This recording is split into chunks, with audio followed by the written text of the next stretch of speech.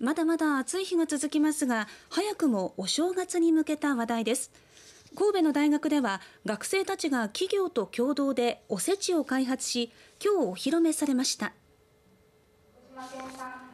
神戸市内に2つのキャンパス2つのキャンパスを持つ神戸学院大学では毎年学生が企業と共同で若者目線で作るおせちの開発を行っています。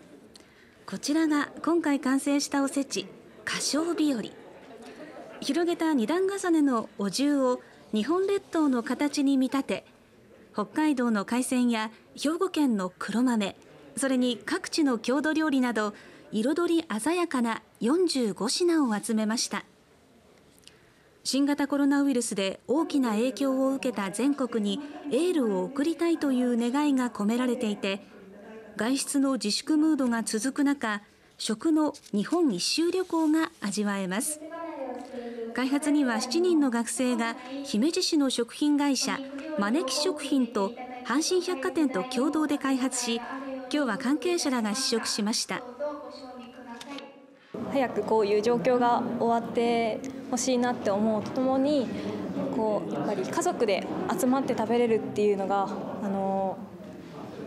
改めて幸せなことというかめあのありがたいことっていうのを感じていただけたらなと思っております。